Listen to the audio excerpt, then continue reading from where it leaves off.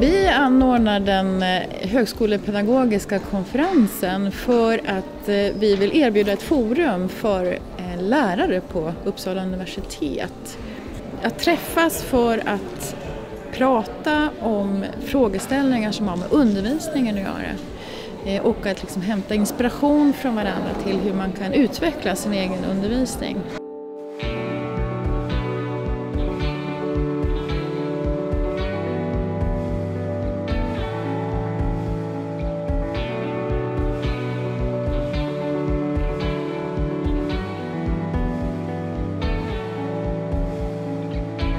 Mitt deltagande här eh, gör absolut att jag får möjlighet att utvecklas, eh, få höra på vad andra har gjort för studier och få höra vad för frågor som folk tycker är intressanta, eh, få, få inspiration, få se vad, vad man kan göra i undervisningen och, och eh, för att förbättra sin egen undervisning.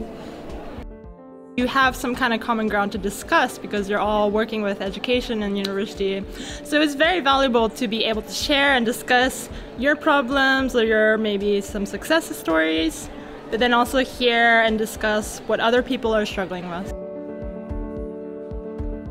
Det andra skälet till att vi anordnar den här konferensen vartannat år det är för att vi ska ge utrymme för eh, pedagogisk meritering någonting som har blivit allt viktigare med åren eh, som lärare på högskola och universitet. Att kunna meritera sig pedagogiskt och ett sätt är då att delta och presentera någonting, sina tankar, sin utveckling på en sån här konferens och få respons på det. Eh, jag kom till konferensen första gången eh, för fyra år sedan när jag var helt ny som lärare och jag försökte förstå min roll som lärare och försökte lyssna på ja, mer erfarna lärare. Men då, eh, då, träffade jag väldigt mycket intressanta personer eh, som sen har hjälpt mig väldigt mycket i min egen pedagogiska utveckling.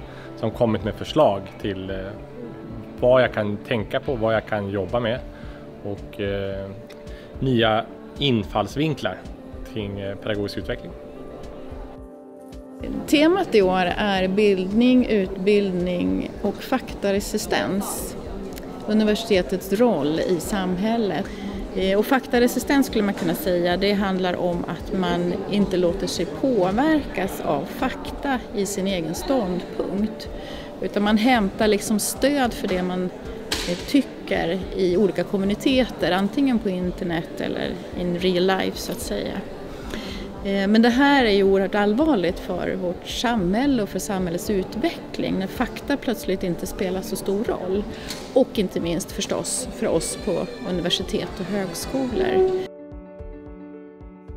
Alltså, universitetet har ju flera olika viktiga uppgifter i det här. Eh, både att eh, förmedla de grundläggande kunskaperna som studenterna behöver för sina respektive områden men också göra dem medvetna om vilka mekanismer som finns som gör att folk ibland inte vill ta till sig kunskap. Det behöver, det behöver de känna till.